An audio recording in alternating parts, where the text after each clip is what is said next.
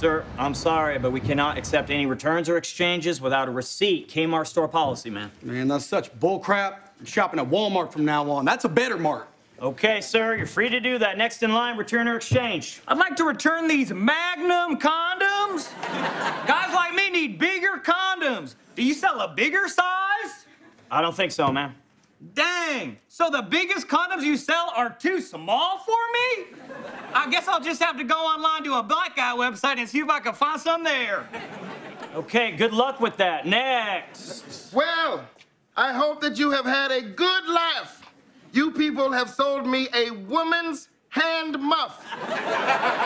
now that you've had your fun, kindly point me towards the men's muff section, please. Yeah, I don't I don't think we have those, sir. Oh, so you're all sold out. Perfect.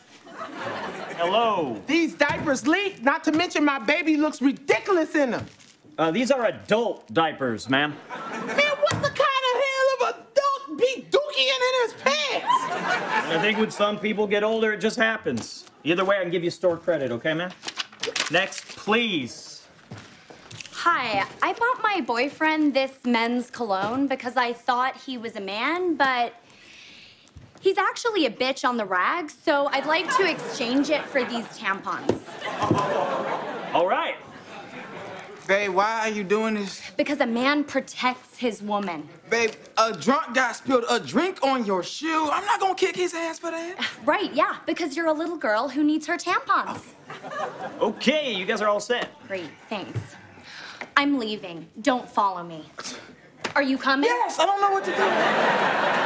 Next, ma'am, hello. Hello, I will not go into detail, but let's just say that the brand of birdseed doesn't agree with my parrot's stomach. Yeah, I can see that. I can give you store credit. Okay, wonderful. And can you just point me in the direction of women's shirts, uh, carpet cleaner, and I guess, unfortunately, mouthwash?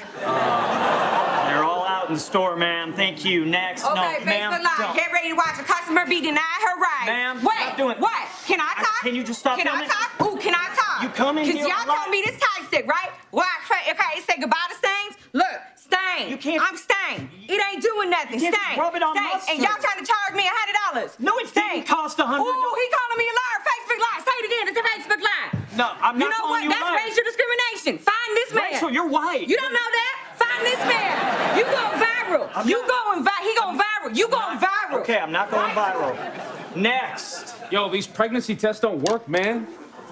Okay, did you read the instructions? Dude, yes, I'm not stupid. I read the instructions, I took it out, I peed on it, I waited 15 minutes, and nothing happened.